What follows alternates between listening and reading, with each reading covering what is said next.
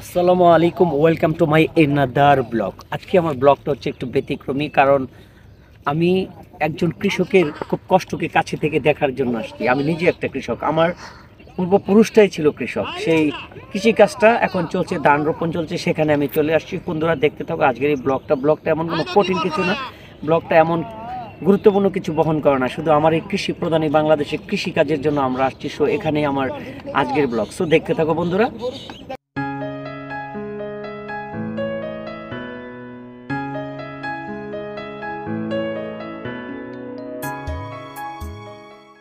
কৃষক হচ্ছে একটা দেশের প্রাণ, কৃষি হচ্ছে একটা দেশের প্রাণ। যত কুয়াশাই হোক, কৃষক থেমে নেই তার জীবন যুদ্ধে, তার খাদ্য সংগ্রহে, তারা কিন্তু মাঠে নেমে গেছে। আপনারা লক্ষ্য করছেন যে অনেক অনেক কুয়াশা অনেক কুয়াশা যে সামনের এক মিনিটের রাস্তায় কিছু দেখা যায় না। খাদ্যকে আমরা খুব দ্রুত বাজার থেকে ক্রয় করে কিনে নেই বা এটা খাওয়ার জন্য আমরা ব্যবহার করি। কিন্তু আসলে এই জিনিসটাকে ফলাতে গিয়ে, এই জিনিসটাকে উৎপাদন করতে গিয়ে একটা কৃষকের যে কী পরিমাণ পরিশ্রম গেছে সেটা হয়তো আমরা কখনো সেই দুঃখটাকে আমরা বুঝি না। কৃষকের সেই কষ্টটাকে আমরা অনুভব করি না।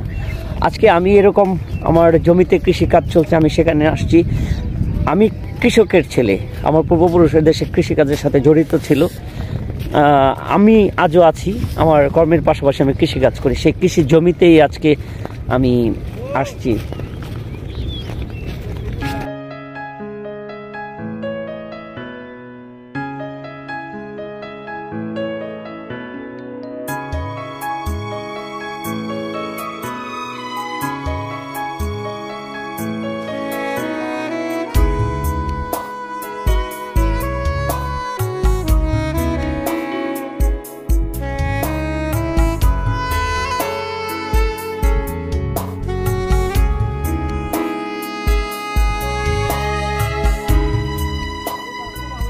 কৃষি জমি হচ্ছে আমাদের একটা বেগুন ক্ষেত এখানে উৎপাদন করা হয়েছে।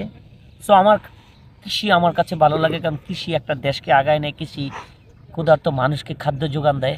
সে কৃষিকাজ আমার ভালো লাগে। সো বন্ধুরা, আমার এই ভিডিওটা যদি এতটুকু ধরে তোমাদের মনে, একটা লাইক এবং কমেন্টস আর যদি পারো চ্যানেলটা সাবস্ক্রাইব করো, কারণ কৃষি দিবানিশি। কৃষি একটা দেশের প্রাণ। কৃষক একটা দেশের প্রাণ। সো বন্ধুরা, দেখতে হবে আমাদের ট্রাক্টর মেশিন এটি আমাদের চাষবাস হয়। এটা এটা কিছুক্ষণের মধ্যে হাল চাষের জন্য নিয়ে যাওয়া হবে। আর এর জন্য একটা ড্রাইভার আছে, ওরা এই কাজটা করবে হচ্ছে আমাদের সেই ট্রাক্টর তো বন্ধুরা, এখানে রাখা আছে এটা।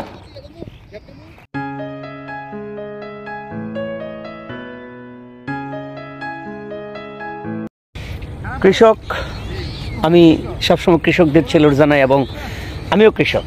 আমি ওই কৃষকদের নিয়ে গর্ব করি। Really I feel proud my farmer because তারা এ দেশটাকে খাদ্যে স্বয়ংসম্পূর্ণ করে। এখানে ভাত অন্য মানুষের মুখে তুলে দেয়, তাদের হাতে। আমরা পণ্য কিনে যত সহজে খেয়ে ফেলি, কিন্তু তার উৎপাদন, তার বিপণন, তার তারপরে উৎপাদন করা, পরিশ্রম করা, সেগুলোকে আমরা কেউ দেখি না। আজকে সেটাই দেখাতে যাচ্ছি।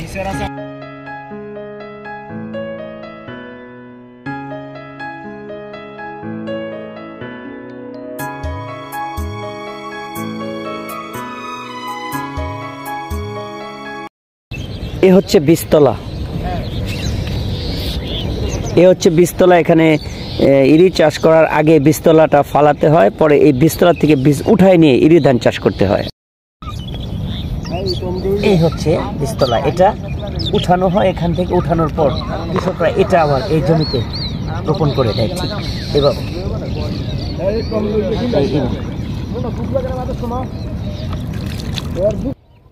আমাদের যিনি রূপগঞ্জ উপসহকারী কৃষি অফিসার রূপগঞ্জ উপজেলা যিনি আমাদের মাঝে সব সময় আমাদের এত ভোরবেলা ভোর ডাকা কাকে কুয়াশার মধ্যে উনি মাঠে চলে আসে, উনি চেয়ার কিংবা অফিস নিয়ে বসে নেই।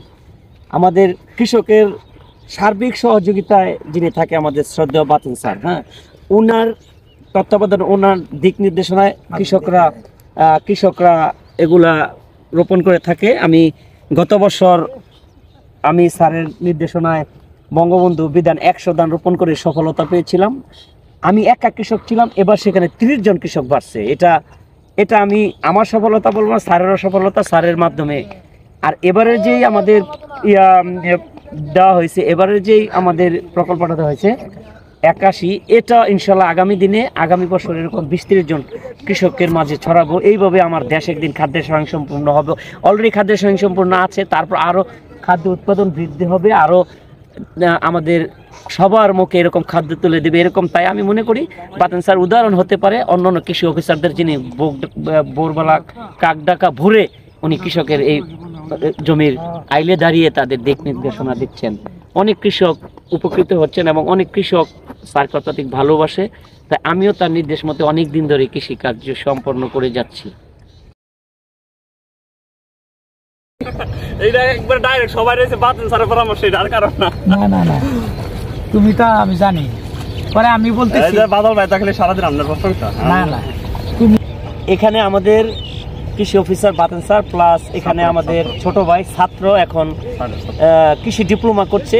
তাই আমি মনে করি বাংলাদেশের দেড় বছর পর সে কৃষি ডিপ্লোমা করে বেড়ে যাবে। কিন্তু সে প্রকৃত একজন কৃষক সেজে দাঁড়িয়ে আছে। তাই এরকম হতে হবে। বাংলাদেশকে স্বয়ংসম্পূর্ণ করতে হলে এই জন্য শিক্ষিত কৃষক দরকার আছে। আসলে আগে জরাজীর্ণ কৃষকরা যারা লেখাপড়া ছিল না, তারা যেভাবে যেভাবে ফসল করে ফেলতো, ফসল হইতো না। বিভিন্ন সমস্যায় পড়তো। এখন এখন প্রযুক্তির পরিবর্তন আসছে, পৃথিবী বদলাচ্ছে প্রযুক্তিগতভাবে কৃষি অফিসারদের পরামর্শ বা এই সমস্ত শিক্ষিত কৃষকরা যদি এদেশে কাজ করে, এ দেশ পৃথিবীর মধ্যে অন্যতম খাদ্যশস্যে যাবে। এখনও আমাদের দেশ খাদ্যেতে মোটামুটি পৃথিবীর মধ্যে একটা ভালো জায়গা স্থান করছে। তো এরকম ছেলেরা যদি বেরিয়ে আসে, এ দেশ কৃষি হবে, তবে এটা শুধু প্রধানমন্ত্রীর কাছে বিলুত আবেদন থাকবে যে যেইভাবে আমাদের কৃষি জমিগুলো ভরাট হয়ে যাচ্ছে, এগুলো থেকে দেশকে বাঁচাতে হবে, আমাদের জলবদ্ধতা নিরসন করতে হবে, তাহলে এই দেশ পৃথিবীর মধ্যে খাদ্যতে আমরা আমরা ইন্ডিয়া বলেন বা চায়না বলেন, তাদের খুব কাছাকাছি নিকটে আমরা চলে গেছি, তাই আরেকটু সময় হলে এরকম শিক্ষিত কৃষক হলে অবশ্যই অবশ্যই এই দেশ খাদ্যের স্বয়ংসম্পূর্ণ হবে। আইএমএফ এর তত্ত্ব মধ্যে এ দেশ দুই হাজার তেইশ সালে যে দুর্ভিক্ষে পড়বে না, তারা একটা আবাস দিয়ে দিয়েছিল, কিন্তু এটা বাস্তবে হয়েছে, আমার দেশ দুর্ভিক্ষে পড়ে নাই। পৃথিবীর অনেক দেশ পৃথিবীর অনেক দেশ যেমন আপনার বুলগেরিয়া সাইবেরিয়ার মতো দেশও কিন্তু বিপর্যয় ব্রিটেনও বিপর্যয় পড়ে গেছিল খাদ্যে কিন্তু আমাদের খাদ্যে কোনোদিন বিপর্যয় পড়ে নাই। তাই আমি মনে করি আগামী দিনে এদেশ কৃষক স্বয়ংসম্পূর্ণ হোক খাদ্যের স্বয়ংসম্পূর্ণ হোক খাদ্যের নির্ভরতা বাড়ুক আমরা যাতে খাদ্য উৎপাদনের পাশাপাশি রপ্তানিমুখীও এদেশ হতে পারে। এটাই আমাদের কাম্য উচিত। আমি জাস্ট ছোট্ট করে স্যারের একটু কথা বলব যে আসলে স্যার এত সকালে আমার ডাকে আসলেন। মানে আপনাকে ধন্যবাদ দিয়ে ছোট করব না। তো আমি চাইব আগামী দিনে যাতে আসেন যদি আমাদেরকে আরও পরামর্শ দেন একটু বলেন কিছু। ধন্যবাদ বাদল রায়হানকে এবং সাথে আমাদের কৃষি ডিপ্লোমা আগামী দিনের ভবিষ্যৎ ছাত্র। এবং আমাদের আড়াই হাজার এটিআই থেকে অথবা এক দেড় বছর মধ্যে বেরিয়ে ভালো একটা চাকরি পাবে। এবং সে এলাকার মাওনা এলাকার একটা ছেলে তায়েব তার নাম। তাইব বলে আমি ডাকি। তবে সে এলাকার কৃষকদেরকে যখন সময় পায় পরামর্শ দিয়ে থাকে এই জন্য তাকে অসংখ্য ধন্যবাদ জানাচ্ছি। আর আজকে আমার বিধান একাশি প্রদর্শনীর রোপণ চলছে। বাদল একাশি। বাদল রায়হান তার ওয়াইফ এই প্রদর্শনীটা বাস্তবায়ন করবে। ওয়াইফের পাশাপাশি সে তাকে সহযোগিতা করছে এবং গত বছর বাদল রায়হান বঙ্গবন্ধু দান একশো করেছিল। তাকে অসংখ্য ধন্যবাদ।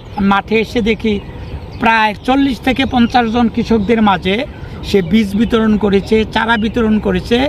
আমি আমি আশা করি এই বছরও আমাদের এই মাঠে বঙ্গবন্ধু দান কমপক্ষে পঞ্চাশ থেকে ষাট জন কৃষক আবাদ করবে। এবং বিধান একাশি তার ওয়াইফকে দিয়েছি। তার তত্ত্বাবধানে এইখানেও ভালো ফলন হবে এবং এই বীজও সেই বছর কৃষকদের মাঝে বিতরণ করবে বলে আমি আশা রাখি। তাই সুন্দর সকালে বিশেষ করে বাদল রায়হান যে লাইন করে লঘু পদ্ধতিতে প্রদর্শনীর চারা রোপণ করছে এই জন্য তাকে কৃষি সম্প্রসারণ অধিদপ্তরের পক্ষ থেকে ধন্যবাদ জানাচ্ছি। আপনাকে ধন্যবাদ স্যার। ভালো থাকবে সুন্দর থাকবে। এইভাবে কৃষক তার খাদ্যের যোগান দিতে পারে। ছোট্ট একটা জায়গায় কি সুন্দর সবজি করে রাখা আছে। সো এইভাবে আপনার যেখানে একটু জায়গা আছে সেখানে এরকম সবজি করে নিজে স্বাবলম্বন হন অন্য অন্যকে খাদ্যের যোগান দিন।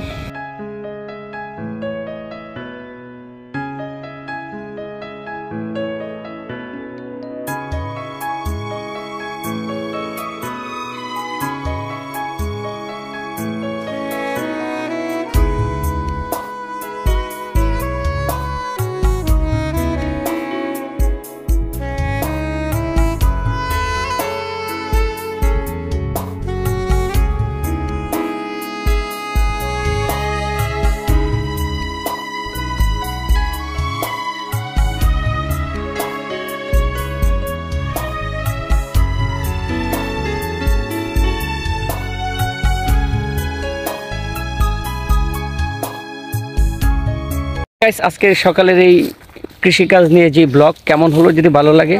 কৃষকরা যারা ভালোবাসো, কৃষকের উৎপাদিত ফসল খেয়ে যারা বেঁচে থাকো, তারা একটা লাইক করে দিও। ধন্যবাদ সবাইকে।